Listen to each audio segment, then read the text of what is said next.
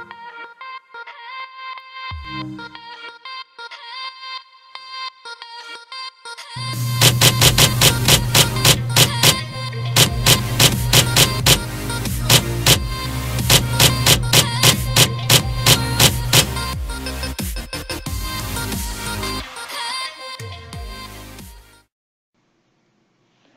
Hello everybody, my name is Ben and welcome to Minnesota Sports HQ. If this is your first time watching, we kind of cover daily recaps of all the Minnesota sports teams and occasionally we have other videos uh, that we bring to the channel on the days where there's no sports going on in the state of Minnesota. Now today we had the Wild, the Timberwolves, and the Gophers men's basketball teams play and uh, I have to say, um, I'm pretty happy about how tonight went, and uh, we'll get to that right now, starting with the Wild. The Wild had a great game against the Blackhawks today, obviously. Same division rivalry. And uh, actually, we're both fighting for a playoff spot right now. Halfway through the season, we're pretty much neck and neck. Uh, for the Blackhawks, Brent Seabrook scored 12 minutes into the first period. Jonas Brodin for the Wild scored 10 minutes into the second period, and Ryan Suter got the winner for the Wild three minutes into the third period. So the defenseman really stepping up for the Wild in this game. Uh, the Blackhawks had more shots. Um, that's be- probably because they were losing in the third period, added a little bit more pressure to the Wild's net. But 35 shots for Chicago, 27 for the Wild. Uh, actually, this is a crazy stat. The Wild had 31 hits, and the Blackhawks had 8. So you can tell who really wanted to win this game. And the Wild were definitely ready for it. The Wild had Dubnyk back in net, so that was a great boost. And uh, also, both teams went 0 for 3 on their respective power plays. Now, how does this game affect the standings? Well, the Wild and the Blackhawks were actually tied on points for the last wild card spot, and uh, they still could be. Uh, Chicago's two points behind Minnesota, but they have a game in hand. Uh, Calgary is two points behind Minnesota as well, but they have two games in hand. But right now, Minnesota holds that last wild card spot. And we're actually one point behind Dallas for that first wild card spot, but they, they have a game in hand as well. And actually, looking at this, Colorado has three less games played, and they're three points behind us. So this could all be very interesting. And Anaheim actually creeping up close, too. Uh, looking at the division, though, the Wild actually moved up to fifth with this win. Um, and Dallas is very close to striking distance. And actually, we're kind of creeping up on St. Louis. If we win both our games in hand, we're actually one point behind them. And that is great. But uh, I'm really excited to see a wild card race finally heat up. I mean, it's just going to be wild, isn't it? Um, but now we are going to go ahead and move on to the NBA game.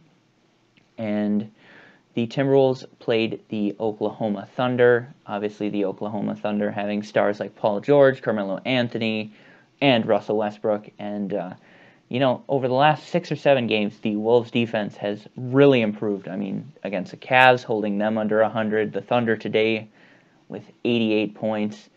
Uh, the Wolves have looked good, even without Jeff Teague. Tyus Jones has really stepped up, and I'm pretty proud to see him do what he's doing as I mean he is a he is a Minnesota boy, so let's not forget that. Uh, a few stats: Paul George for OKC had 13 points, Carmelo had 15, and Russell Westbrook had 38. Wow! So didn't really contain Westbrook, but I mean, can't say many people in the league can contain Westbrook. Over on the Wolves side, though, Andrew Wiggins had 19 points. Taj Gibson finished with 9. Karl-Anthony Towns finished with 18. And man, he had a monster dunk tonight. Uh, Jimmy Butler had 26 points. Great showing from him. And Teague on his day back had 8 points. It's pretty good for him. Uh, Jamal Crawford off the bench had eight. Always love to see the production from him. And how does that affect the standings? Well, the Wolves are still in fourth at 27 and 16, but that does bring them a game and a half behind the San Antonio Spurs.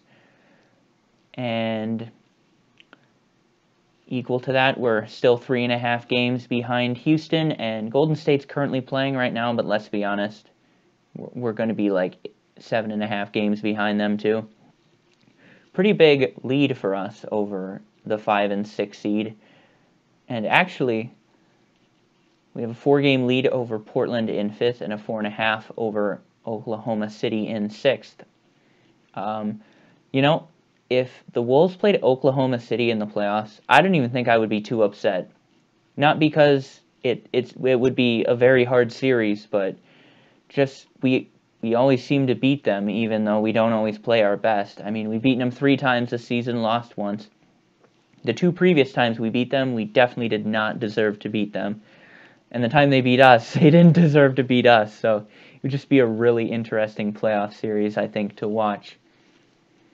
And according to my favorite website, playoffstatus.com, the Timberwolves have a 99% chance to make the playoffs at the moment. Now, that doesn't take into account power rankings, it just looks at the record, looks at the teams below them, their remaining schedule. It takes all that into account with an algorithm and shows you the odds of what seed they're going to get.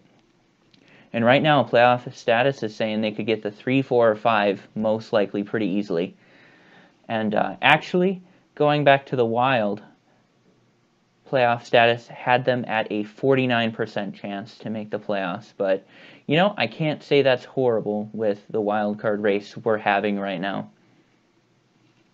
And now the last game of the day, the Minnesota Golden Gophers men's basketball team played Northwestern. Now, it's just all fallen apart for the Golden Gophers. Lost Eric Curry at the start of the season, torn ACL. That just really seems to be a Minnesota injury, doesn't it? just oh, you're a good player. Torn ACL.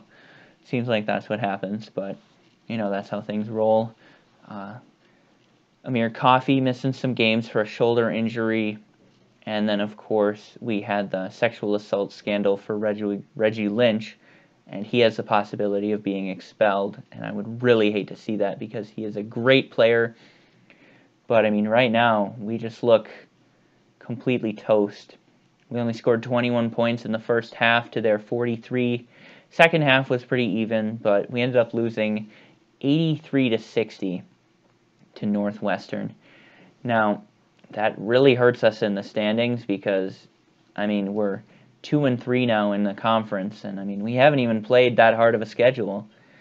I mean, we're 13 and 5 overall. I mean, we're still ranked number 71 in the nation, but it's it's not looking good, guys. Golden Gophers, so much hope at the beginning of the season, and here they are, not not doing too well, I'd have to say. And uh, playoff status kind of agrees with me on that. Uh, 41% chance of making it to the big dance, March Madness. And that's about right. I pretty much agree with that. Seems pretty reasonable not to expect an NCAA tournament with how we're playing at the moment. It's it's not good. But uh, that'll wrap it up for today. Uh, three teams played, so quite a lot to talk about. Uh, no sports teams play tomorrow, so look out for a special video then. Big hint right now, I might be looking at the NFL playoffs and doing a preview on those. So be excited for that tomorrow, and we'll see you then. Good night, everyone.